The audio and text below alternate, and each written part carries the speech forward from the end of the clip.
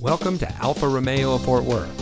And here's a look at another one of our great vehicles from our inventory and comes equipped with Apple CarPlay and Android Auto, Bluetooth smartphone integration, alloy wheels, split fold down rear seat, rear view camera, fully automatic headlights, dual front side impact airbags, heated door mirrors, leatherette, Sirius XM satellite radio, and has less than 40,000 miles on the odometer. Here at family owned Alfa Romeo of Fort Worth, we have the best people showing the best selection in order to be the best in Dallas Fort Worth.